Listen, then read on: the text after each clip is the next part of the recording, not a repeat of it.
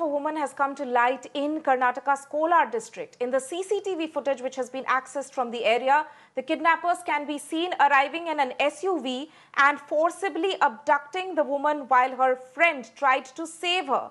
The incident took place while she was walking down the road along with her friend.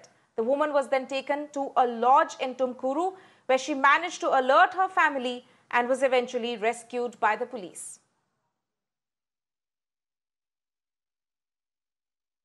I'm joined uh, by my colleague Srija over the phone line. Srija, so what we can in fact see is this is a terrifying abduction which has also been captured in a CCTV footage uh, somewhat that we can in fact see that the kidnappers came on an SUV and forcibly abducted the woman. And this again brings to the question as to whether or not uh, among several states that we are seeing where violence uh, against women graph has risen, whether or not these are major concerns that the Karnataka government is also now facing, where there's a brazen kidnapping of a woman taking place in broad daylight.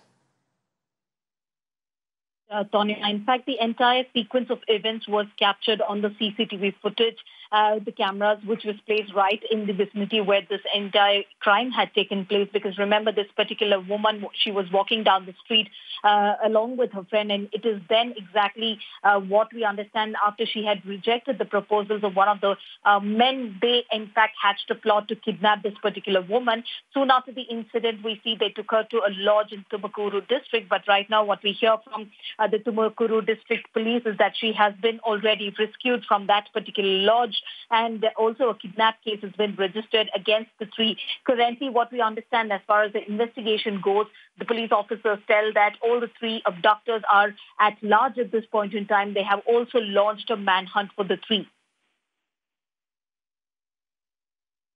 Right, Shreya, thank you so much for joining us with that update.